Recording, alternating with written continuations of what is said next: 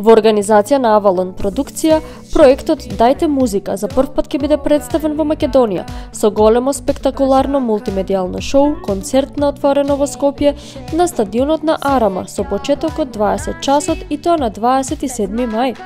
Проследено со светска продукција, грандиозна сцена, звук и светло, избогатено со танц, видео, како и специјални гости, катчето исполнета со джагор кој досега беше достапно само на телевизиските екрани, доаѓа на стадионот на Арама да го приреди